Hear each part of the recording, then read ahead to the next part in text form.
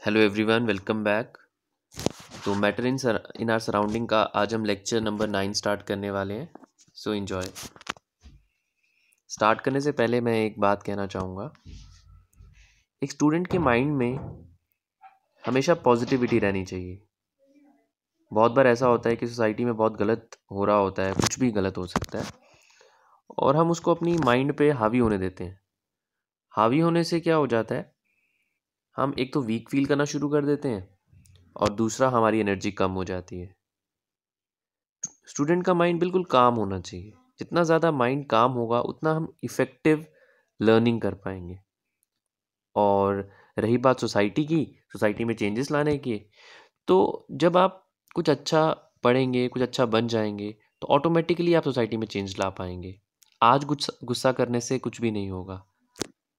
हमें अपने आप को कुछ बेटर बनाना पड़ेगा। फिर सब कुछ हो जाएगा। चलिए अब क्वेश्चन पर आते हैं।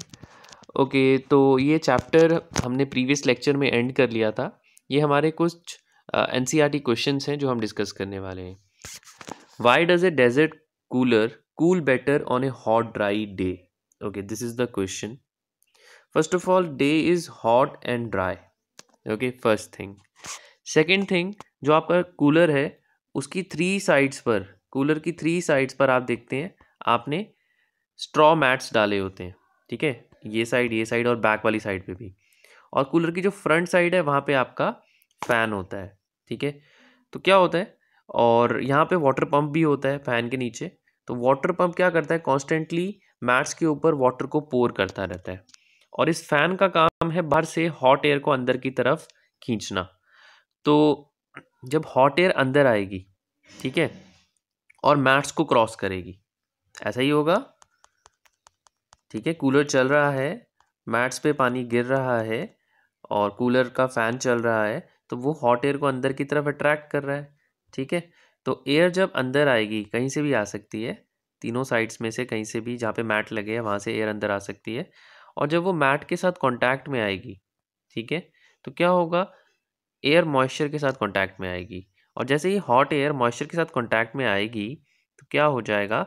जो मॉइस्चर है वो इवापोरेट हो जाएगा।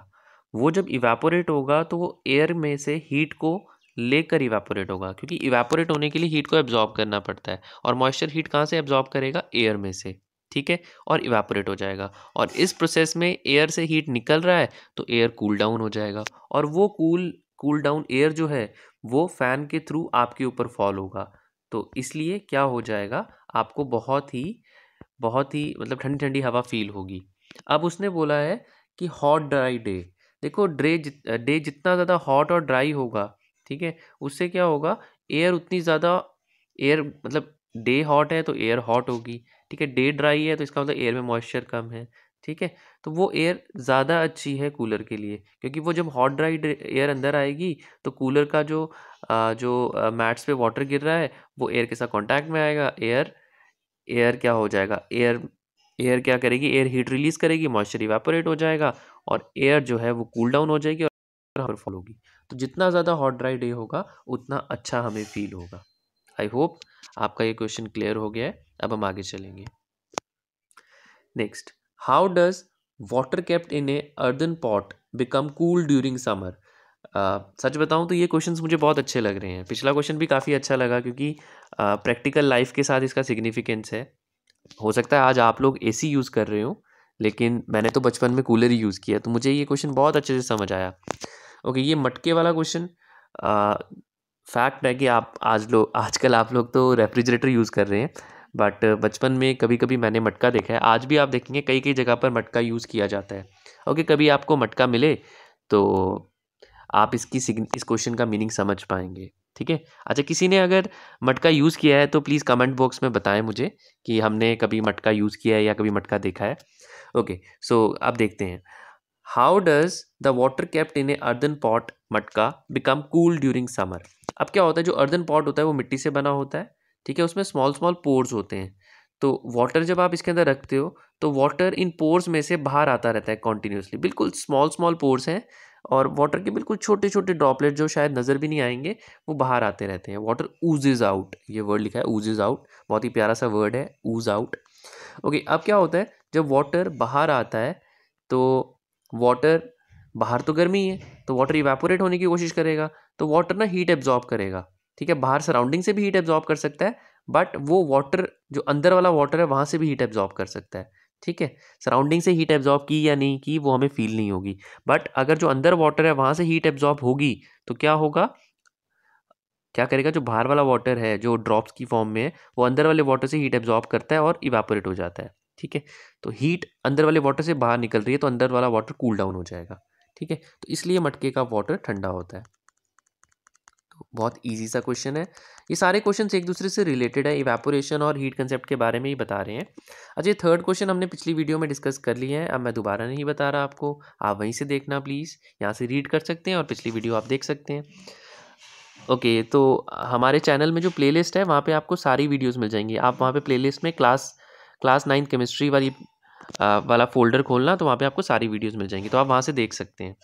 नेक्स्ट क्वेश्चन देखेंगे। Why are we able to sip hot tea और milk faster from a saucer rather than a cup okay जो आप जिनके आ, मतलब आपने अगर नोटिस किया है कि आपके दादा दादी या आ, और भी जो ओल्ड पीपल है वो क्या करते हैं?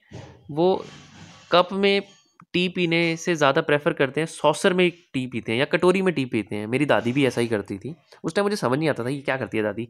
तो लेकिन अब समझ आ रहा है कि दादी बड़ी लॉजिकल थी। मैं ही लॉजिकल था।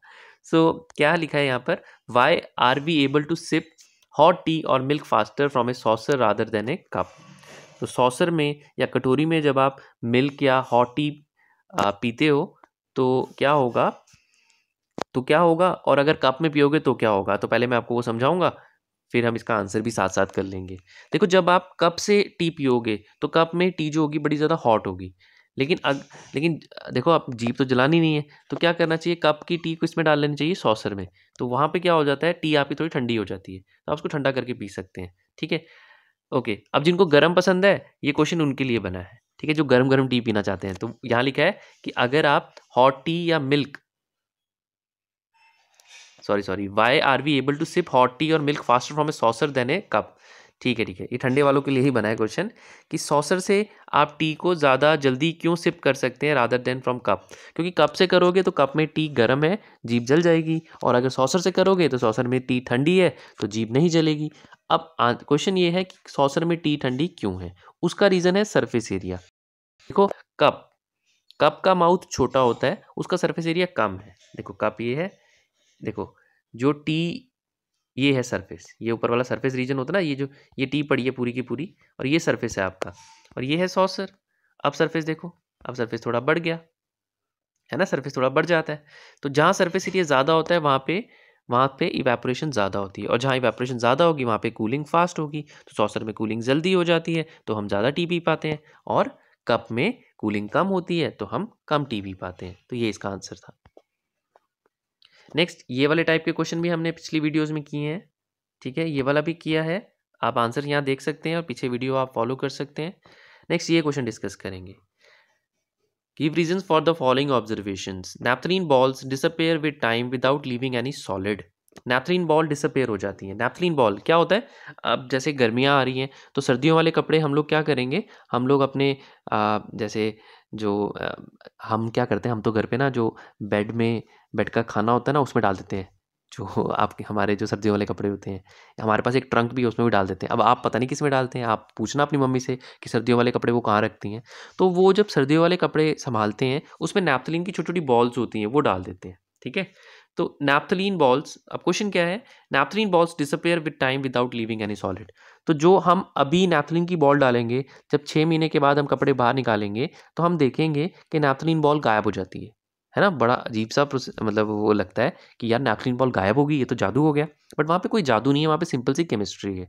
हमने सब्लिमेशन के बारे में पढ़ा है और हमने सब्लिमेशन के एग्ज़ाम्पल में नैपथलीन पढ़ा था कि नैपथलीन क्या करता है? नैपथलीन डायरेक्ट सॉलिड से किसमें चेंज हो जाता है? वेपर में चेंज हो जाता है। तो बस यही होता है नैपथलीन डिसअपेयर क्यों हो जाता है? क्योंकि वो सॉलिड से डायरेक्ट वेपर में चेंज हो जाता है ड्यू टू सब्लिमेशन तो ये आपका आंसर था। नेक्स्ट नेक्स्ट पार्ट भी इसका। We can get the smell of perfume sitting several metres away तो ये हमने बिगनिंग वाली वीडियोस में डिस्कस किया था। आप वहाँ से देखिएगा प्लीज़ और यहाँ आंसर लिखा है। आप आंसर रीड कर सकते हैं। समझना हो तो पिछली वीडियोस फॉलो कर सकते हैं। ओके ये फोर्थ क्वेश्चन है। Arrange the following substances in increasing order of force of attraction between the particles water sugar oxygen okay इनमें फोर्स ऑफ़ अट्रैक्शन के बारे में पूछा है। यहाँ पे ऑक्सीजन वाटर और शुगर लिखा हुआ है। बट मुझे ऑक्सीजन शुगर और वाटर लगता है। ठीक है, मैं इसको फिर भी कहीं और स्टडी करूँगा। ऑक्सीजन शुगर वाटर सबसे कम फोर्सेज जो हैं, वो ऑक्सीजन में है, फिर शुगर में और फिर वाटर में। नहीं, ठीक लिखा हुआ है। मैं आपको रीज़न बताता हूँ क्यों। ठीक है, मैंने कुछ और क्यों सोचा? वो इंटरमोलिकुलर फोर्सेस क्लास इलेवंथ में है, उस बेस पे सोचा बट ये इन्होंने ठीक लिखा है। यहाँ पे इन्होंने रीज़न दिया हुआ है साइज़ के बेस पे। ऑक्सीजन मॉलिक्यूल साइज़ में सबसे छोटा है वाटर उससे बड़ा है और शुगर सबसे बड़ा है। तो साइज़ के बेस पे, देखो ऑक्सीजन छोटा है वाटर का मॉलिक्यूल थोड़ा बड़ा है और शुगर का मॉलिक्यूल सबसे बड़ा है। तो जिसका साइज़ ज़्यादा होता है, वहाँ पे फोर्सेज ऑफ़ अट्रैक्शन ज़्यादा होती हैं। बस यही इसका आंसर है। ठीक है, अब आप सोचेंगे कि बड़ा कैसे ऑक्सीजन मॉलिक्यूल का फॉर्मूला ओ होता है वाटर इज़ एच और शुगर होती है C six C twelve H twenty two O eleven तो ये इसका फॉर्मूला है। तो ऑब्वियस है C twelve H twenty two O eleven तो ये इसका फॉर्मूला है। ऑब्वियस है कि इसमें ज़्यादा एटम्स है शुगर में तो सबसे बड़ा मॉल सबसे बड़ा मॉलिक्यूल होगा ये। वाटर में उससे कम एटम्स हैं और ऑक्सीजन में सबसे कम एटम्स हैं। इस बेस पे इसका आंसर दिया, ठीक है? तो ये आंसर ठीक है, मैं कुछ और सोच रहा था, यही आंसर करेक्ट है। ओके नेक्स्ट है क्वेश्चन नंबर फाइव हाँ ये थोड़ा सिंपल सा क्वेश्चन है ये। What is the physical state of water at twenty five degree Celsius सबको पता है वाटर जो है ज़ीरो डिग्री पर मेल्ट या फ्रीज होता है हंड्रेड डिग्री पर बॉयल या आप बोल सकते हैं कंडेंस होता है बट ट्वेंटी फाइव डिग्री पर वाटर तो लिक्विड स्टेट में होता है। ज़ीरो डिग्री पर देखो, अगर आप हाई टेम्परेचर से लो टेम्परेचर तक जा रहे हैं। मतलब टू टू डिग्री से zero degree minus one degree ऐसे जा रहे हैं। तो टू डिग्री पे वाटर लिक्विड है। ज़ीरो पे क्या होगा? सॉलिड में चेंज होना शुरू हो जाएगा और अल्टीमेटली पूरा सॉलिड में चेंज हो जाएगा। मतलब ज़ीरो डिग्री पर लिक्विड भी होगा और सॉलिड भी होगा। या आप ऑपोजिट प्रोसेस कर लीजिए। आप माइनस टू से प्लस टू की तरफ़ जा रहे हैं मतलब टेम्परेचर इंक्रीज कर रहे हैं। माइनस टू पे सॉलिड होगा ज़ीरो पे क्या होगा? सॉलिड लिक्विड में चेंज होना शुरू हो जाएगा और अल्टीमेटली पूरा कंप्लीटली चेंज हो भी जाएगा। तो ज़ीरो डिग्री पर दोनों स्टेट्स होती हैं सॉलिड और लिक्विड इसी तरह हंड्रेड डिग्री पर हंड्रेड डिग्री पता है आपको वाटर का बॉइलिंग पॉइंट है तो हंड्रेड डिग्री पर भी दोनों स्टेट होती हैं। अगर आप नाइन्टी एट से वन ज़ीरो टू तक जा रहे हैं तो क्या होगा? आपका लिक्विड वेपर में चेंज होगा, ठीक है? तो हंड्रेड पे लिक्विड भी होगा और वो वेपर में चेंज भी हो जाएगा, ठीक? और अगर आप हंड्रेड टू से नाइन्टी एट पे आ रहे हैं तो वेपर जो है, वो लिक्विड में चेंज हो जाएँगे हंड्रेड में। ठीक है ना? वो डिपेंड करता है आप किस डायरेक्शन में जा रहे हैं। नाइन्टी एट से वन ज़ीरो टू में जा रहे हैं तो लिक्विड वेपर में चेंज हो रहे हैं बट हंड्रेड पे दोनों होंगे। ठीक है? बस वो चेंज हो रहे होंगे लिक्विड से वेपर में। और वन ज़ीरो टू से नाइन्टी एट पे जा रहे हो तो वेपर लिक्विड में चेंज हो रहा होगा। ठीक है? होंगे तो दोनों वहाँ पर भी। तो ये ये इसका आंसर है। नेक्स्ट यहाँ पर था आंसर ठीक है? नेक्स्ट क्वेश्चन है। Give two reason to justify water at room temperature is a liquid water liquid क्यों है? तो उसका उसका एक रीज़न तो यही है। रीज़न है intermolecular forces and kinetic energy intermolecular forces क्या होती हैं? Force of attraction between the particles और काइनेटिक एनर्जी क्यों होती है? काइनेटिक एनर्जी होती है टेम्परेचर की वजह से। ठीक है, इसको थर्मल एनर्जी भी बोल सकते हैं आप लोग। ठीक है, हमेशा थर्मल एनर्जी चाहती है पार्टिकल्स दूर हो जाए। टेम्परेचर भी यही चाहता है पार्टिकल्स दूर हो जाए। टेम्परेचर की वजह से थर्मल एनर्जी है। तो दोनों ये चाहते हैं पार्टिकल्स दूर हो जाएँ। और इंटरमोलिकुलर फोर्सेज चाहती हैं पार्टिकल्स पास आ जाएँ। तो इन दोनों फोर्सेस पे डिपेंड करता है कि कोई सब्सटेंस किस स्टेट में एग्जिस्ट करेगा। तो यहाँ पे इन दोनों का बैलेंस इस टाइप का है कि आपका वाटर लिक्विड स्टेट में एग्जिस्ट करता है एट रूम टेम्परेचर ठीक है? इसका एक और रीज़न हो सकता है, ये थोड़ा समझने वाला रीज़न है। वाटर का वाटर का फ्रीजिंग पॉइंट या आप बोल सकते हो मेल्टिंग पॉइंट कितना? ज़ीरो डिग्री सेल्सियस ठीक है? तो ज़ीरो डिग्री पर वाटर अगर आप हाई हाई टू लो जा रहे हैं टू डिग्री से माइनस टू की तरफ़ जा रहे हैं तो वाटर लिक्विड से सॉलिड में चेंज हो जाएगा। और अगर माइनस टू से टू पे तरफ़ जा रहे हैं तो सॉलिड से लिक्विड में चेंज हो जाएगा। लेकिन ट्वेंटी फाइव डिग्री पर room temperature twenty five degree Celsius होता है, वहाँ पे वाटर को क्या रहना चाहिए? लिक्विड स्टेट में रहना चाहिए। क्यों? क्योंकि वाटर का मेल्टिंग पॉइंट कितना है? ज़ीरो डिग्री फ्रीजिंग पॉइंट में कितना है? ज़ीरो डिग्री और ज़ीरो से अबव वाटर किस स्टेट में रहेगा? लिक्विड स्टेट में। ज़ीरो से बिलो में सॉलिड होगा ज़ीरो से अबव में लिक्विड और इस तरह हंड्रेड पे जाकर वो बॉयल हो जाता है तो हंड्रेड से अबव पे क्या होगा वो वेपर की फॉर्म में होगा। तो क्या होगा? ट्वेंटी फाइव पे लिक्विड की स्टेट में। ठीक है? ज़ीरो से नीचे सॉलिड हंड्रेड से ऊपर वेपर और ज़ीरो और हंड्रेड के बीच में, यानी वन डिग्री और नाइन्टी नाइन तक क्या होगा? लिक्विड स्टेट होगा। नेक्स्ट है हमारे पास iron almirah is a solid at room temperature. अब आयरन एलमीरा का हमें ना मेल्टिंग पॉइंट पता है ना बॉइलिंग पॉइंट पता है लेकिन हम गैस कर सकते हैं। पहली काइनेटिक एनर्जी और और इंटरमोलिकुलर फोर्स के बेस पे बोल सकते हो कि दोनों की वैल्यू इस तरह की है। इंटरमोलिकुलर फोर्स बहुत ज़्यादा स्ट्रॉग है काइनेटिक एनर्जी बहुत कम है पार्टिकल्स बहुत ही ज़्यादा टाइटली पैक्ड है, इसलिए वो सॉलिड स्टेट में एग्जिस्ट कर रहा है। दूसरा आप बोल सकते हो कि ये सॉलिड स्टेट में है, इसका मतलब इसका जो मेल्टिंग पॉइंट है मेल्टिंग पॉइंट है ना? मेल्टिंग पॉइंट क्या होता है? वो टेम्परेचर जिस पे सब्सटेंस मेल्ट होता है, वो रूम टेम्परेचर से ज़्यादा है। ठीक है? Twenty five degree room temperature है, हो सकता है one thousand degree melting point है। ठीक है? तो ट्वेंटी फाइव में किसमें स्टेट में रहेगा? सॉलिड स्टेट में। वन थाउज़ेंड पे जाकर मेल्ट हो जाएगा। तो ये इसका आंसर था। अच्छा एक चीज़ और है। कई बार हम वर्ड पढ़ते हैं गैस और कई बार हम वर्ड पढ़ते हैं वेपर इसमें क्या डिफरेंस है? जो सब्सटेंस रूम टेम्परेचर पर सॉलिड या लिक्विड स्टेट में है सॉलिड या लिक्विड स्टेट में, और हम हाई टेम्परेचर पर उसको उसको गैस में चेंज कर रहे हैं तो उस सब्सटेंस उस सब्सटेंस से जो गैशियस पार्टिकल्स बनते हैं, उनको हम वेपर्स बोलते हैं। और जो सब्सटेंस रूम टेम्परेचर पर गैस स्टेट में है, उसको हम गैस बोलते हैं। तो गैस वर्ड तब आता है, जब कोई सब्सटेंस रूम टेम्परेचर पर गैस स्टेट में रहता है। और वेपर तब आता है, जब आप क्या करते हो? हाई टेम्परेचर देकर किसी सब्सटेंस को गैस स्टेट में लेके जा रहे हो तो आप उसको वेपर बोलते हो। जैसे water vapour but oxygen gas क्योंकि ऑक्सीजन रूम टेम्परेचर पर गैस की फॉर्म में है, लेकिन वाटर रूम टेम्परेचर पर लिक्विड फॉर्म पे है। हाई टेम्परेचर देखकर आप उसको आप उसको गैस की फॉर्म में लेकर जा रहे हो। मतलब आप वाटर के लिए वर्ड यूज़ करोगे वेपर आई होप आपको ये समझ आ गया। नेक्स्ट क्वेश्चन है why is ice at two seventy three kelvin more effective in cooling than water at same temperature okay two seventy three मतलब ज़ीरो डिग्री सेल्सियस आपको पता है ज़ीरो डिग्री सेल्सियस पे क्या होता है? अगर आप टेम्परेचर धीरे धीरे बढ़ा रहे हैं तो ज़ीरो डिग्री पर क्या होता है?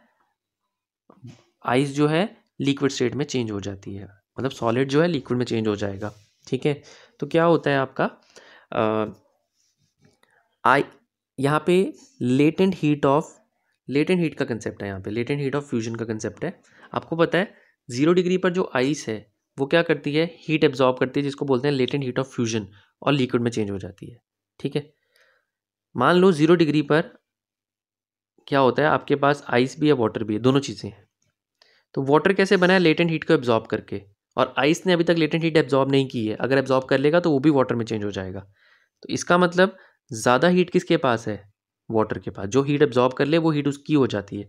वाटर के पास ज़्यादा हीट है एज़ कंपेयर टू आइस इसलिए ये आपका आंसर हो जाएगा why is ice more effective in cooling cooling में आइस क्यों ज़्यादा इफ़ेक्टिव है? क्यों? क्योंकि इसके पास कम हीट है। और वाटर के पास ज़्यादा हीट है क्योंकि आइस ने लेटेंट हीट एब्जॉर्ब की, तभी वाटर बना। ठीक है? तो वो लेटेंट हीट वाटर के पास है। सिमिलरली नेक्स्ट क्वेश्चन है why what what produce more severe burns boiling water और स्टीम तो देखो बॉइलिंग वाटर और स्टीम। हंड्रेड डिग्री पर क्या होगा? स्टीम बनेगी, ठीक है? बॉइलिंग वाटर या स्टीम का मतलब क्या है? दोनों को मान लो आपने हंड्रेड डिग्री पर लिया है, ठीक? तो बॉइलिंग वाटर स्टीम में कब चेंज होगा? जब वो लेटेंट हीट को एब्जॉर्ब कर लेगा, ठीक है? तो स्टीम के पास ज़्यादा हीट है क्योंकि स्टीम लेटेंट हीट एब्जॉर्ब कर लेती है तो स्टीम ज़्यादा सिवियर बर्न्स कॉज करेगी। बॉइलिंग वाटर इतने ज़्यादा सिवियर बर्न्स नहीं कॉज करेगा ऑल उससे भी प्रॉब्लम होगा, बट स्टीम से ज़्यादा प्रॉब्लम होगा। ओके, ये वाला आप खुद ट्राई करेंगे, ये मैंने आपसे पहले भी डिस्कस किया, यहाँ पे सिर्फ़ स्टेट चेंज करनी है। Solid to liquid solid sorry ऐसे solid to liquid liquid to solid क्या बोलते हैं इस प्रोसेस को? सॉलिड टू लिक्विड को क्या बोलते हैं? क्या बोलते हैं सॉलिड टू लिक्विड को? फ्यूजन ऐसे आपने बाकी देखने हैं। आंसर लिखे हैं यहाँ पर। लिक्विड टू गैस को क्या बोलते हैं? ठीक है, इसी तरह गैस टू लिक्विड को क्या बोलते हैं? इसी तरह यहाँ पे दिया सॉलिड टू गैस को क्या बोलते हैं और गैस टू सॉलिड को क्या बोलते हैं? सारे आंसर्स दिए हैं मैंने, ये अच्छे से डिस्कस भी किया था आपसे। ठीक है? तो आज हम इतना ही करेंगे। Thank you so much for watching जब भी आप वीडियो देखते हैं, मेरा कॉन्फिडेंस और ज़्यादा बढ़ जाता है और मुझे फिर पढ़ाने में और ज़्यादा मज़ा आता है। ठीक है? मैं चीज़ों को जितना ज़्यादा इन्जॉय करता हूँ, उतनी चीज़ों को आसान वे में आपको बता पाता हूँ।